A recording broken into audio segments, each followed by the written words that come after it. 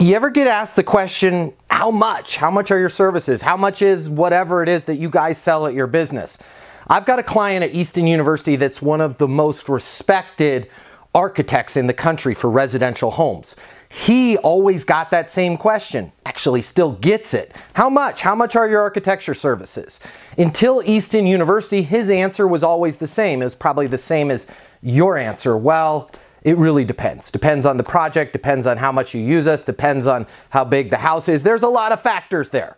Here's what I taught him to realize, and I want to teach you right now. When somebody asks you how much, most of the time, they're not asking, can I afford this? They're basically giving you a buying signal saying, I think I want to do business with you, but I want to know a little bit more. I want you to feel comfortable and confident delivering your price. Here's how you do that. When somebody says how much, answer the same way my architect does.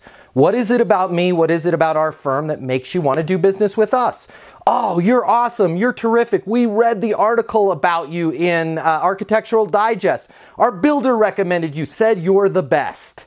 Once you establish all of that comfort and confidence from the buyer, it's a lot easier to deliver your price. Hey, follow me for more tips on how to be successful in business and life.